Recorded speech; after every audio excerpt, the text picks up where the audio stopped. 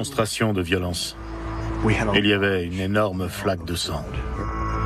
On avait fait preuve d'une brutalité inouïe. Comment peut-on manifester une telle violence envers quelqu'un qui avait aussi bon cœur? Il est de mon devoir de tirer au clair cette affaire pour qu'on puisse savoir ce qui s'est passé, qui est le coupable et pourquoi il a agi ainsi.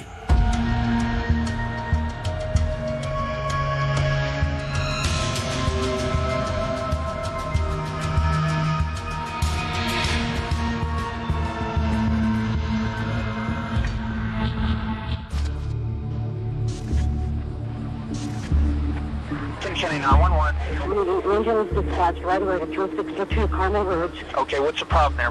My husband went around back and hit the ditch all over.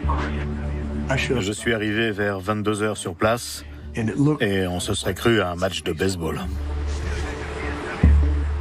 Il y avait des lumières de toutes parts et des journalistes. On n'est pas habitué à ce genre de choses. La famille Craven était la seule que je connaissais dans cette portion de rue. Alors évidemment, j'ai prié pour qu'il ne leur soit rien arrivé. Quand j'ai appris ce qui s'était passé, j'étais sous le choc.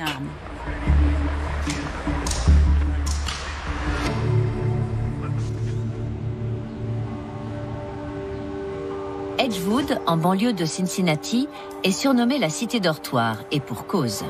C'est une ville tranquille, sûre, le dernier endroit où on s'attendrait à tomber sur une scène de crime. Edgewood est une ville agréable, une commune aisée et très calme, à quelques minutes de l'aéroport international de Cincinnati. Les Craven vivaient au bout d'un cul-de-sac et ils avaient deux enfants en bas âge. Ce quartier était tout simplement idyllique pour eux.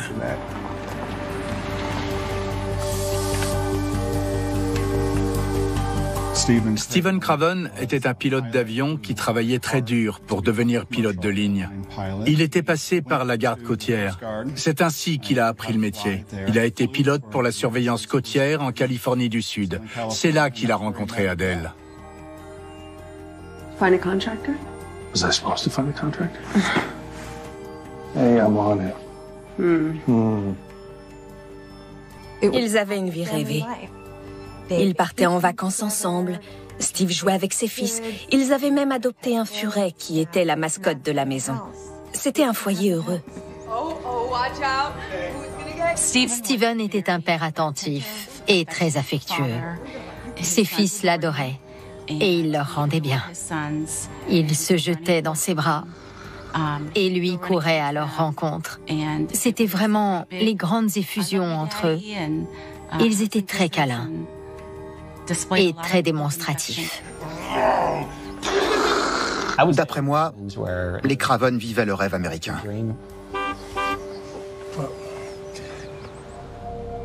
Adèle se sentait seule. J'imagine que c'est souvent le cas des épouses dont le mari doit régulièrement s'absenter ou voyager pour le travail. Adèle est aussi une nouvelle venue dans la région de Cincinnati. Adèle est latino-américaine. Elle est originaire de la Californie du Sud et il n'y a pas beaucoup de latinos là où elle s'est établie. Elle se sent donc quelque peu isolée. Ça n'a pas dû être facile pour elle. Adèle comble ce vide en se trouvant une mission qui va devenir une vraie passion. Adèle voulait aménager le sous-sol. Elle prévoyait une grande chambre d'amis avec salle de bain attenante et dressing. Elle voulait pouvoir accueillir sa famille de Californie et inviter la famille de Steve, qu'il soit bien installé tout en restant indépendant. Adèle a grandi dans un quartier relativement pauvre. Et on peut dire qu'elle a eu la vie dure. Mais grâce à Steven, elle avait la possibilité de se construire une vie meilleure. Elle avait envie de rendre la maison agréable pour ses enfants et pour sa famille. Elle consacrait beaucoup de temps et d'énergie à ce projet.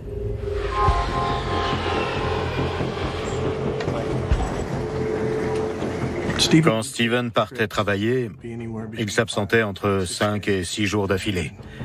Il traversait le pays en avion, vivait à l'hôtel, et mangeait dans de bons restaurants, pendant qu'Adèle restait à la maison pour s'occuper des enfants. Pour une épouse de pilote, ce n'est pas toujours simple à gérer. À ce stade de sa carrière, Steve était absent une bonne moitié du mois, mais le reste du temps, il était chez lui, avec beaucoup de temps libre qu'il pouvait consacrer à ses fils et à sa femme.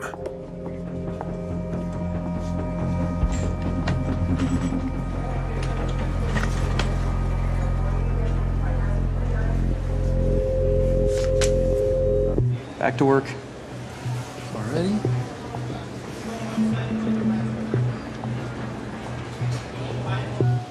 Rusty McIntyre cumulait plusieurs emplois. Il avait un travail à temps plein de bagagiste d'aéroport, mais il faisait aussi de menus travaux.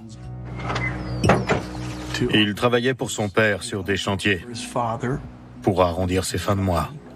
Mais il avait du mal à s'en sortir. Il voulait devenir son propre patron. Comme ses travaux de rénovation comptent beaucoup pour Adèle, Steven engage Rusty pour s'occuper de ses aménagements. Well, this is it. My big question is whether you think we need to dig or is there enough ceiling? Is this what I think it is? It better be. Cost me 1200 bucks. We'll take it out sometime. Yeah? Yeah. All right. Uh-oh. Here comes the real boss. Hi. My wife Adele. Oh, now I get why they call you Rusty. Steve se faisait très facilement des amis. Ils travaillaient tous les deux à l'aéroport. Ça leur faisait un point commun. Well, I got a plane to fly. okay, I love you. Les Craven ont engagé Rusty pour s'occuper des travaux du sous-sol. Rusty venait s'y atteler dès qu'il avait un peu de temps libre. On lui avait même fourni un double des clés pour circuler comme il le voulait.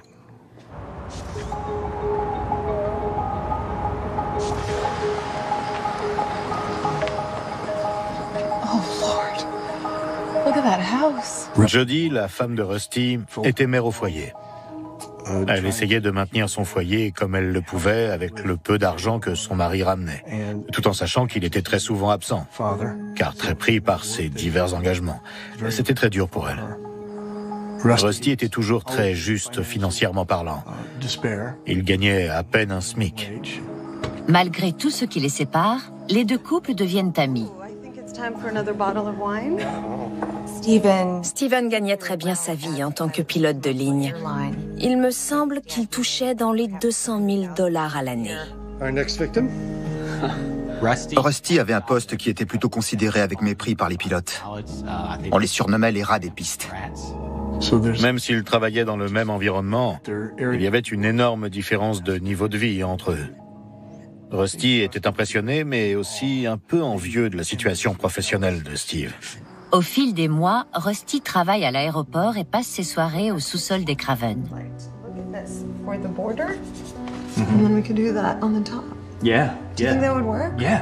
Great. Oh, but wait, wait, wait. Where was the other one I liked? Plus Rusty passait de temps chez les Craven, plus Adèle et lui se rapprochaient. Je ne sais pas trop ce que Steven pensait de tout le temps que passait Adèle aux côtés de Rusty? Mais je sais de sources sûres que les voisins avaient remarqué que la voiture de Rusty était souvent garée devant chez eux lorsque Steven était absent pour son travail.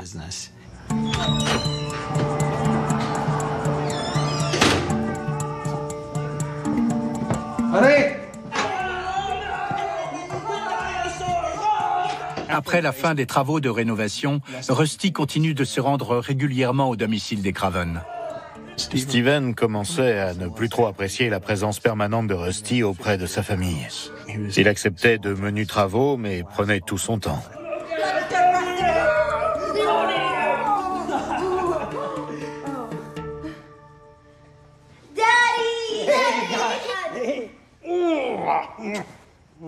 How are you?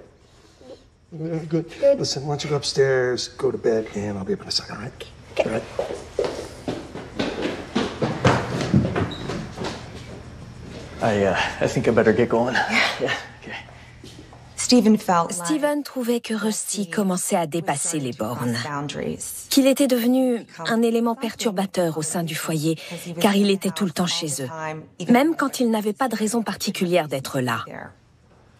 What's he still doing here? I, I just wanted him Basement doesn't need any more work.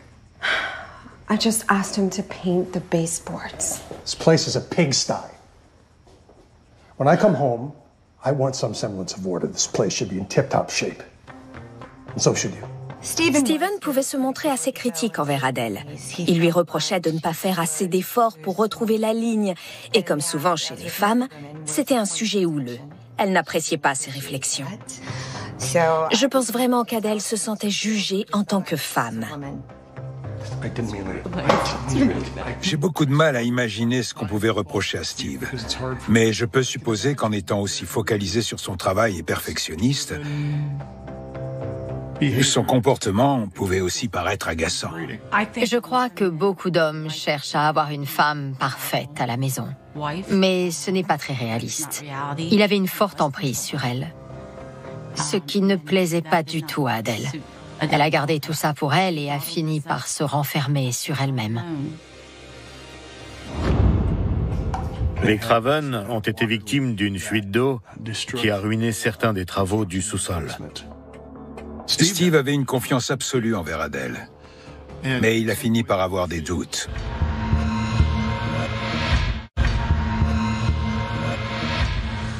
Steven Craven est un pilote de ligne souvent absent qui commence à s'inquiéter de l'intimité grandissante entre sa femme Adèle et leur homme à tout faire, Rusty. Mais cette méfiance ne fait que les rapprocher davantage puisqu'ils montent une affaire ensemble. What are you doing here? Saw your car. Adèle et Rusty se sont mis à parler de leur frustration. Rusty voulait être son propre patron et ne plus devoir dépendre des autres. La vie bien rangée de Steven était devenue étouffante pour Adèle. Elle se sentait piégée à devoir rester à la maison pour élever ses deux enfants. Ils se confiaient et se complaisaient dans leur malheur.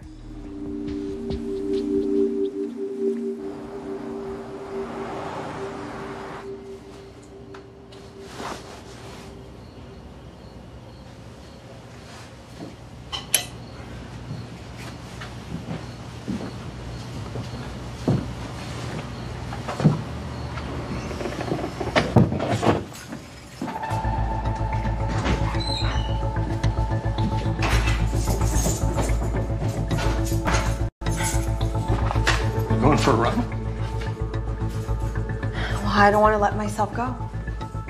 Steve avait une confiance absolue envers Adèle, mais il a fini par avoir des doutes. Et le connaissant, ça n'a pas dû être un cap facile à passer.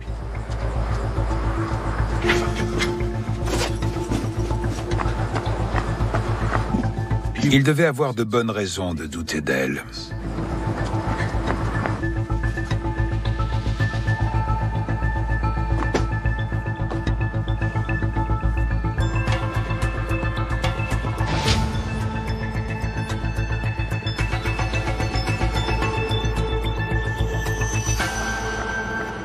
Adèle voulait reprendre le contrôle de sa vie. Peut-être que Steve, par certains côtés, l'empêchait de se sentir libre.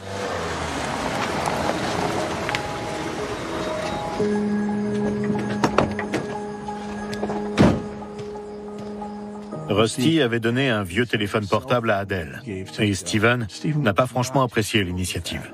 What's this? I didn't want to tell you Tell me what? about my business. Your business? Adèle, qui se plaignait de ne pas avoir suffisamment d'argent de poche, avait décidé de monter sa propre affaire. Rusty et elle comptaient offrir leurs services pour des travaux de peinture et de décoration d'intérieur. Ce qui expliquait aussi pourquoi ils se voyaient aussi fréquemment. Interior design.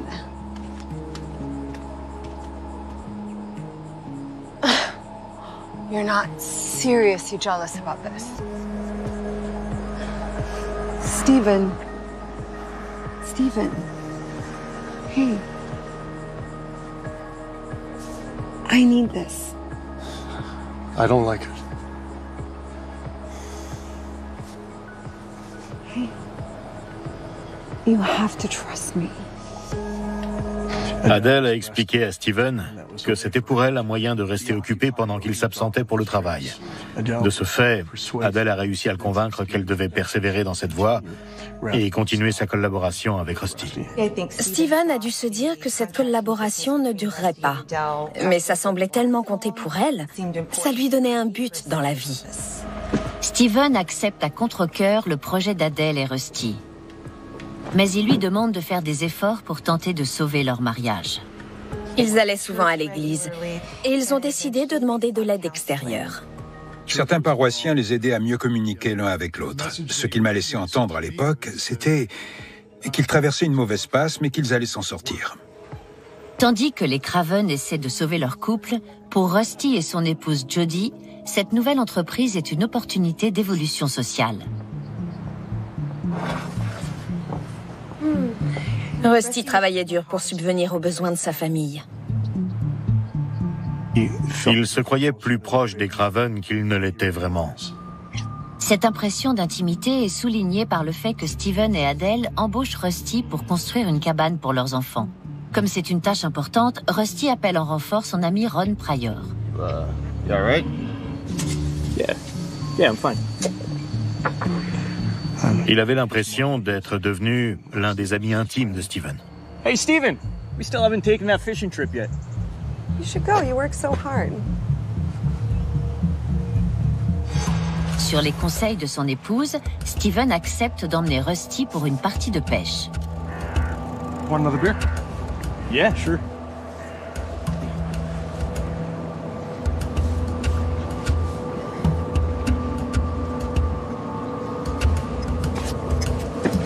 Whoa, whoa.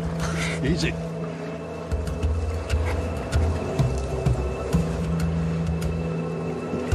Il essayait de se donner l'image de l'entrepreneur accompli, pour tenter de donner l'illusion d'être l'égal de Steven. How's the family? Good, actually. Uh, Jody and I are going on a cruise. First vacation in forever. It's a big thing for you guys, huh?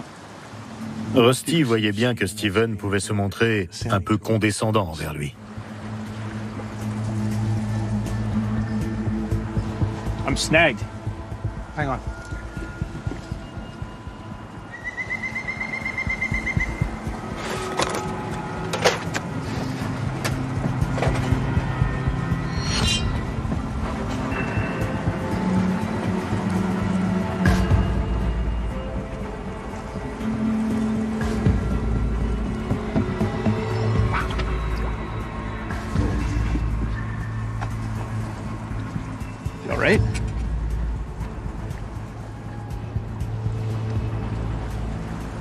La coupure de Steven est superficielle, mais semble annonciatrice de sombres événements.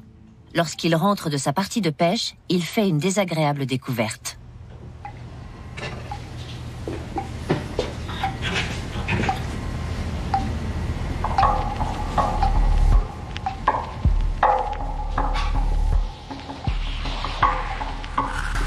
Les Craven ont été victimes d'une fuite d'eau qui a ruiné certains des travaux du sous-sol. Steven a donc appelé Rusty pour qu'il y jette un œil. Rusty est arrivé entre 9h30 et 10h du matin. Adèle est sortie ce matin-là en laissant Steven et Rusty entre eux. Elle a embrassé son mari et est partie vaquer à ses occupations. Je me baladais ce matin-là et j'ai croisé sa voiture au bout de la rue. Elle a vu que je m'approchais et elle a baissé sa vitre pour me demander comment j'allais. Hey! Hi! Where are you off to? Well, you know, just gonna go get the kids. We've got a whole day planned. They've been talking about it for days. On a discuté cinq minutes des vacances d'été. On a pris des nouvelles des uns et des autres. C'était un échange agréable. Okay, bye! Bye! See you there. Adèle et Jody, la femme de Rusty, avaient prévu d'amener les enfants à une aire de jeu et de passer un bon moment ensemble. Mais dans quelques heures, le monde d'Adèle sera complètement chamboulé.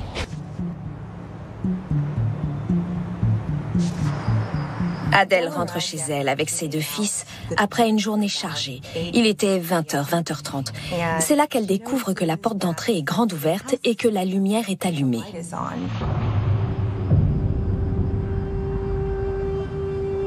Stay in the car. Steven était censé être absent. Elle se demandait pourquoi la porte était ouverte.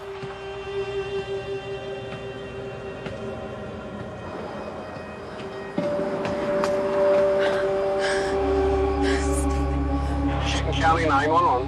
My front door is open and the office looks like it's been gone through. I looked through the window. Can you please have the store car out? Yes, ma'am. That's 362 Caramel Ridge. Yes.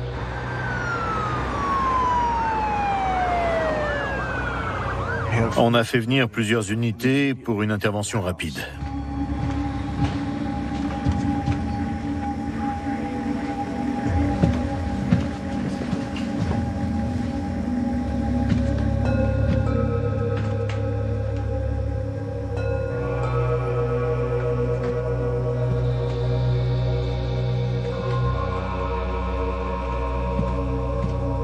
On accédait au sous-sol par des escaliers.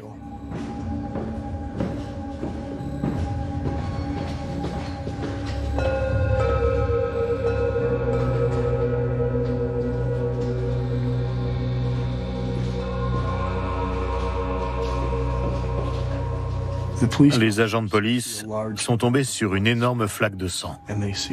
Ils ont également vu des traces de pas sanguinolentes, puis un homme allongé à plat ventre, baignant littéralement dans une mare de sang. Vu l'état dans lequel on a retrouvé le cadavre, il était évident que l'auteur du crime avait fait preuve d'une brutalité inouïe. Il avait reçu une douzaine de coups de pied de biche à la tête. Puis il a été achevé de trois balles en pleine tête.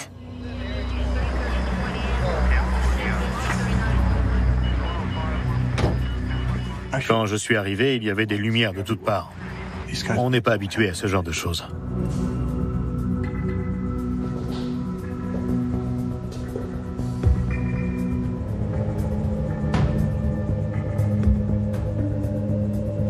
No, no, I don't have an idea the body. Le corps était sanguinolent et il avait reçu de nombreux coups à la tête. Mais son visage était encore à peu près reconnaissable. J'ai tout de suite songé à chercher une photo de famille pour pouvoir comparer avec l'homme qu'on venait de retrouver.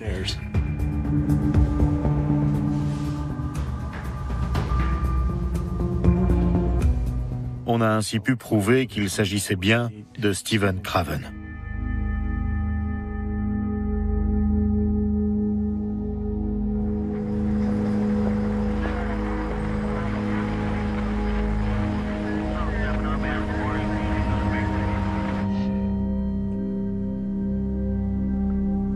Comment peut-on manifester une telle violence envers quelqu'un qui avait aussi bon cœur? Je ne pouvais détacher mes yeux de cette femme désespérée qui venait de perdre son mari et de ces deux petits garçons qui n'avaient plus de père. J'étais sidéré, stupéfait. Je n'arrivais pas à y croire. Quelqu'un à l'autre bout du fil m'a annoncé que Steve venait d'être assassiné à son domicile. Je suis sorti de chez moi. J'étais blême. C'était vraiment trop dur.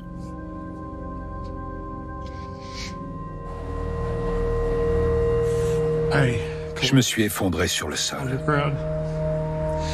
Je n'arrêtais pas de répéter ⁇ Steve est mort ⁇ Mais ça n'avait aucun sens. Rien n'avait plus de sens pour moi. Comment est-ce qu'une chose pareille avait pu se produire?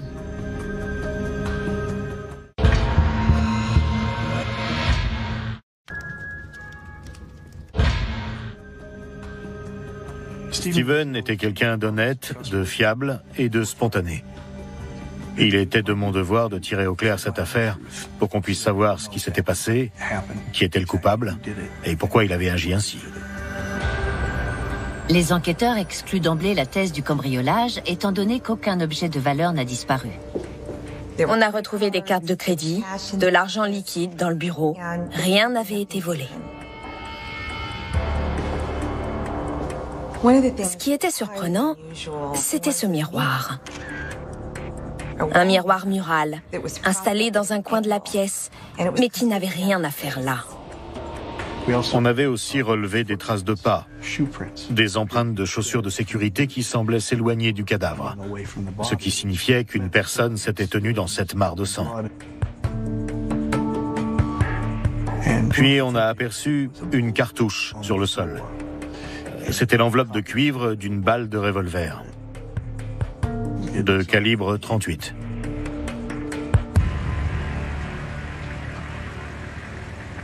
Lorsqu'on enquête sur un homicide, on doit tout d'abord tenter de mettre hors de cause les proches en les interrogeant. Ce qui est particulièrement délicat étant donné que ce sont souvent les victimes collatérales du drame. Miss Craven, do you or your husband have a 38 caliber handgun in the house? No, not in the house. My husband has had a 38, but he keeps it in a safety deposit box. When was the last time that you saw your husband? C'était vers 10h30 ce matin-là. Adèle a décrit sa journée comme étant très chargée. Elle s'était rendue à la banque, elle était allée dans une boutique de téléphonie pour régler une facture, elle avait déjeuné à l'extérieur, elle avait des preuves de tous ses déplacements. Puis, le lieutenant Wallace a demandé à Adèle qui était la dernière personne qu'elle avait vue en compagnie de Stephen. Rusty. Rusty McIntyre. Lorsqu'elle est partie, Rusty et Steven étaient encore à la maison. Steven buvait une bière. Les enquêteurs sont impatients de s'entretenir avec Rusty pour connaître sa version.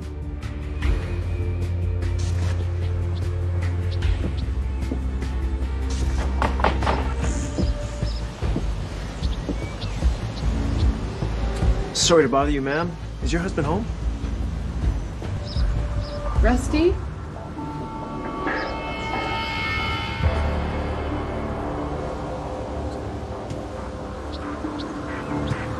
Rusty? M'a confirmé qu'il se trouvait bien au domicile des Craven, mais qu'il avait fini par partir travailler sur un autre chantier.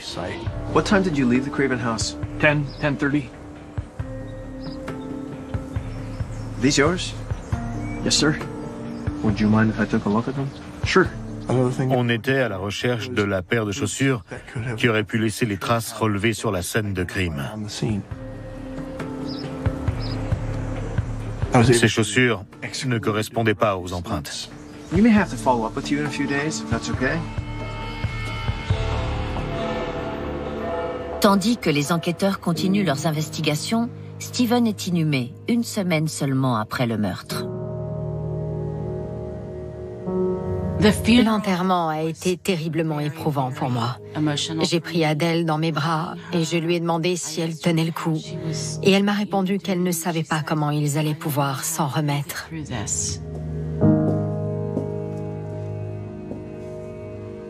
Je suis entré et je me suis recroquevillé sur une chaise dans le fond de l'église. J'avais les yeux fermés, la tête entre les mains, et j'ai senti que quelqu'un m'enlaçait. Adèle tentait de me réconforter et de me rassurer.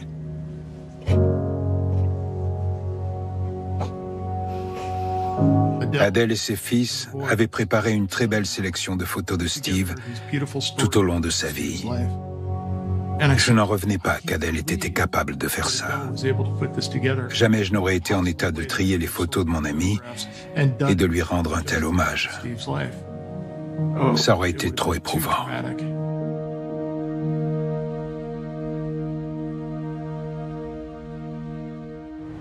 C'était le tout premier homicide relevé à Edgewood. La communauté était en émoi.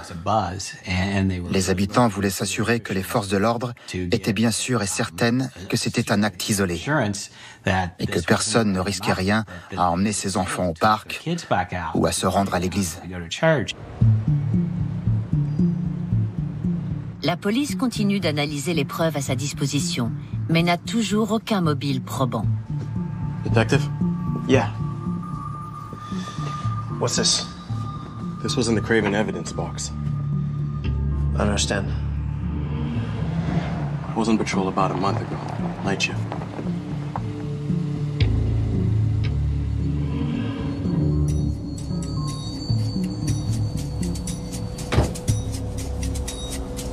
Un agent était en patrouille dans le quartier et il est tombé nez à nez avec un couple en train d'avoir des rapports sexuels dans une fourgonnette. L'agent demande une pièce d'identité. Il s'agissait de Rusty McIntyre. Et aux côtés de Rusty, la femme n'était autre qu'Adèle Craven. That's her. The woman in the truck. Rusty voulait posséder la même chose que Steven. Et la plus belle chose qu'avait Steven dans la vie, c'était Adèle. Si Rusty était pris d'Adèle, on a peut-être enfin un mobile. Reste un problème. J'ai envoyé un enquêteur en filature histoire de garder un œil sur Rusty et surveiller ses allées et venues. Il m'a appelé pour m'annoncer que Rusty et sa famille venaient de décoller pour la Floride. J'ai appris par la suite que cette croisière n'était pas remboursable et qu'ils avaient déjà acheté leur billet d'avion. Ils n'avaient pas beaucoup d'argent et ces vacances leur avaient coûté excessivement cher. Aussi, il n'est pas si invraisemblable que ça qu'ils aient décidé de partir malgré tout. Évidemment, beaucoup de gens pensaient que Rusty avait quitté le pays et qu'il ne reviendrait pas. Puis, j'ai appris qu'il avait pris un billet retour pour lui et sa famille. On nous a donné la date et l'heure de son arrivée à l'aéroport. J'ai envoyé un grand nombre d'agents en uniforme pour que ce soit la première chose que Rusty voit en descendant de l'avion, histoire de le mettre en état de stress. C'était une manière de le manipuler et de le forcer à parler en toute légalité. Rusty est de retour, mais le lieutenant Wallace l'attend de pied ferme. Il était terriblement nerveux, angoissé et effrayé. C'était exactement l'effet recherché. Rusty McIntyre, come with us, please. J'avais aussi fait appel aux médias locaux pour créer un climat anxiogène autour de Rusty. J'imagine que tout ça a dû bien le chambouler. C'est ce jour-là que j'ai interrogé Rusty pour la première fois. Toutes les conditions étaient réunies. So tell me, how do you know Adele Craven? I remodeled her basement. And? And we started a business together. Is that it? That's it. Have you ever been intimate with her? No. Je l'ai laissé s'enfoncer dans ses mensonges au sujet de leur liaison. Ça me permettait de rebondir et de lui faire comprendre que je savais qu'il ne me disait pas toute la vérité. So, you don't remember having sex with her in a church parking lot? À ce moment-là, Rusty a commencé à donner des signes de faiblesse. Il avait l'air abattu et a commencé à craquer. Il s'est rendu compte que c'en était terminé pour lui, que l'étau se resserrait. La première chose qu'il m'a dite a été All I know is that Ronnie did it. Ronnie? Il ne s'agissait plus d'un horrible acte de violence, mais bien d'un meurtre avec préméditation. Uh. Rusty et Ronnie avaient travaillé ensemble sur quelques chantiers. Rusty savait aussi très bien que Ronnie avait toujours de graves problèmes d'argent et qu'on pouvait l'embaucher pour tout type de tâches. Rusty m'a raconté que Ron Pryor devait toucher 1500 dollars pour le meurtre de Steven. Le lieutenant Wallace a procédé à un interrogatoire tout à fait classique, mais il a réussi à soutirer des aveux à Rusty. So tell me, what was your role in all this? It wasn't my idea, and it wasn't my money. I believe you, Rusty.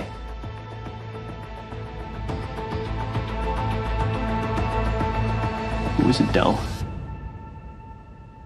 Il a affirmé au lieutenant Wallace que c'était Adèle qui avait commandité le crime.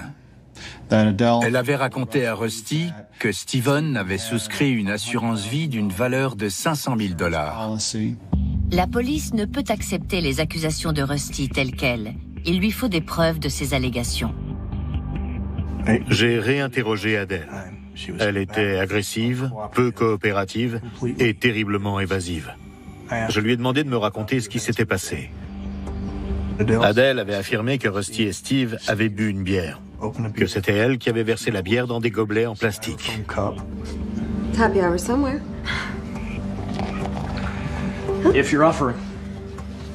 Ce n'était pas dans leurs habitudes de boire de l'alcool dès le matin. Parmi les analyses que j'ai réclamées au laboratoire, j'ai notamment demandé un rapport de toxicologie concernant le liquide présent dans le gobelet. Rusty avoue à la police qu'ils se sont débarrassés des bottes et des armes dans une décharge. Le lieutenant Wallace s'est rendu sur le site d'enfouissement à la décharge. On était en plein mois d'août à Cincinnati, dans l'Ohio. Il faisait chaud et l'odeur était très forte. Le lieutenant Wallace a passé bien deux semaines sur place pour essayer de retrouver les pièces à conviction. Ils sont tombés sur le jackpot. ils ont retrouvé les bottes que portait Ron Pryor lors des faits, ainsi que des traces d'ADN de Steve. La police montre les chaussures à Ron et lui fait remarquer que c'est sa pointure. Au bout d'une heure quarante, Ron a fait des aveux complets. Il nous a raconté avoir tabassé et tué Steven contre une avance de 1000 dollars et qu'il devait toucher 1400 dollars supplémentaires lors du déblocage de l'assurance vie. Mais rien ne relie Adèle à ce crime. C'est la bière qui a mis au jour leur plan diabolique. Toute cette histoire est un pur acte de trahison. Une trahison à tous les niveaux.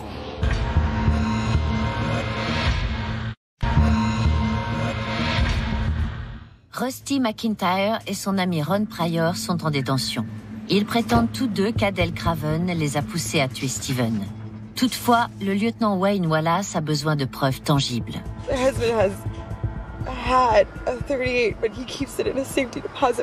J'ai demandé un mandat de perquisition pour pouvoir chercher l'arme qui devait se trouver dans ce fameux coffre-fort. À l'intérieur, aucune arme, mais une vidéo. Steven avait filmé ceci en compagnie d'Adèle pour leur assurance. Il s'agissait d'un inventaire de tous les objets de valeur que la famille possédait. Mais pendant qu'il filme, Steve indique ce qui se trouve dans l'armoire forte.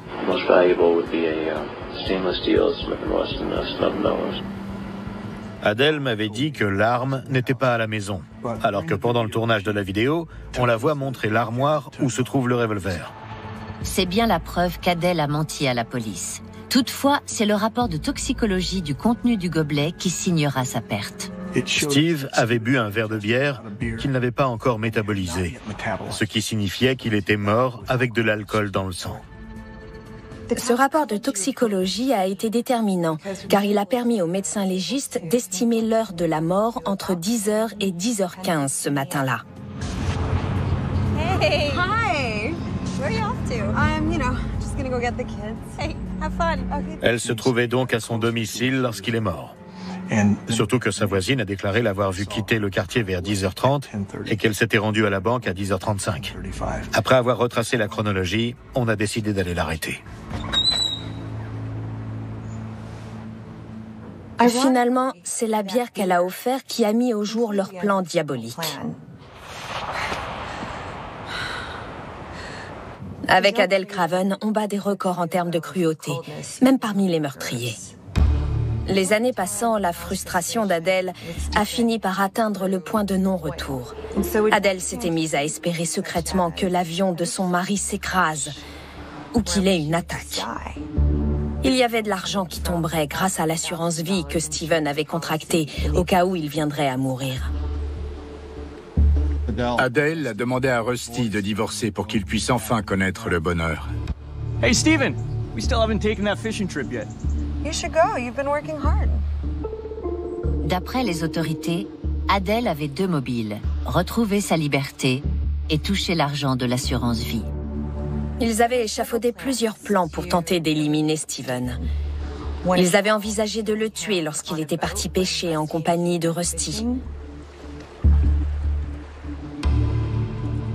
Mais Rusty n'en a pas eu le courage. Adèle en a conclu qu'elle ne pourrait pas compter sur Rusty pour le faire. Elle lui a alors demandé s'il connaissait qui que ce soit qu'il pouvait embaucher pour faire le sale boulot. Rusty avait sa petite idée.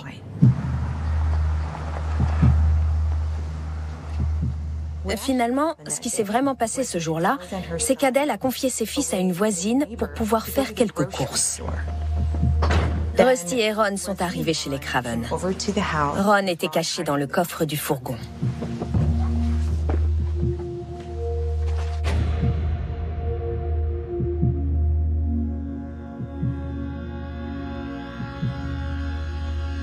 Ron est allé se cacher dans le sous-sol, près du miroir.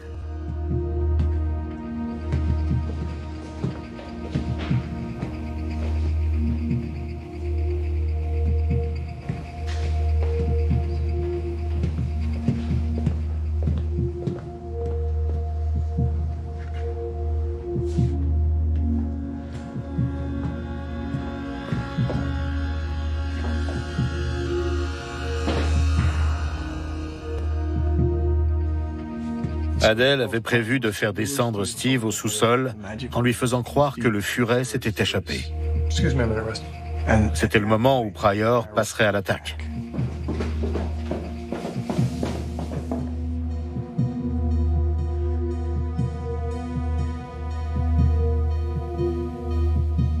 Ron Pryor l'a frappé douze fois pendant qu'Adèle assistait à la scène. Elle voulait le regarder dans les yeux et le voir expier les fautes qu'elle lui imputait et tout le mal dont elle le croyait coupable. Mais Steven résistait. C'est à ce moment-là qu'Adèle est allée chercher un revolver de calibre 38 qu'elle a sorti de son armoire pour le confier à Pryor en lui disant Pryor s'est avancé et lui a tiré une balle en pleine tête. Voyant qu'il ne mourrait toujours pas, Adèle a rajouté trois balles dans le barillet. C'est là qu'il est mort.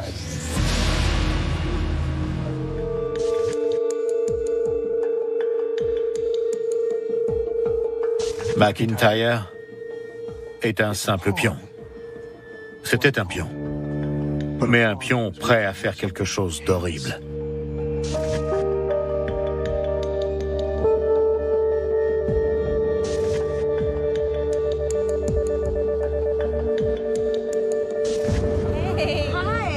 Ça me fait froid dans le dos de savoir que Steven était étendu mort chez lui pendant que je faisais la conversation à sa femme.